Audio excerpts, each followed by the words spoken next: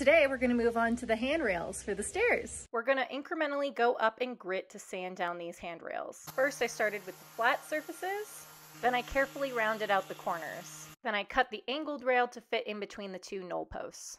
Yeah, this is awesome. Next, I used some mineral spirits to clean up any of the residue from the sanding or cutting. Next, it was time for polyurethane, which I was a little nervous about because you can get those bubbles if you're not careful. I went with a water-based poly simply because it's easier to work with. Always apply poly in one direction following the grain of the wood.